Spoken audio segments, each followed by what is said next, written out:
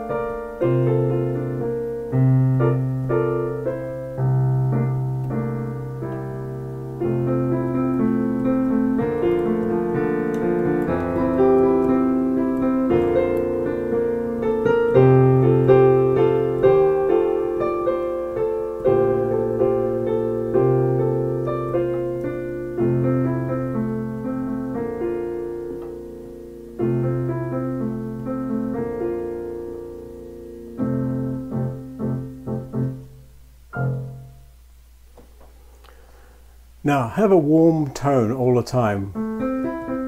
So again, a little bit of arm weight there and also transferring the weight from one finger to the next and a flexible wrist. So every phrase should be beautifully shaped and start with a slight drop and float away so you can get the next position. So all those things count. Now the piece started mezzo piano, didn't it? And the restatement is also mezzo piano always be aware of the dynamics. There's quite a range of dynamics. In fact, it gets up to forte on the first page and up to forte on the second page. That's an even more full-blooded forte there, I think, in the second page. It's got con ped. I'm using lots of subtle pedaling and you just have to experiment to see where you need to use the pedal to colour, but also where you need it perhaps to help a join, where you're having to change position. One little point, by the way, at the um, second last line of the first page, you've got this rather odd thing. We've got a, a long left-hand note and then staccato on the right hand. And I take it with my right hand and I pedal the, the last two chords.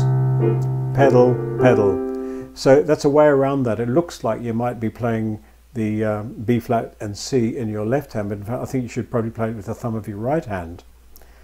There's a couple of really nice slowdowns as well. I took quite a lot of time over this. Just take a breath and then back in tempo. And the same uh, on the second page, we've got this. Again, it feels like a breath in and then a breathe out as you start to play.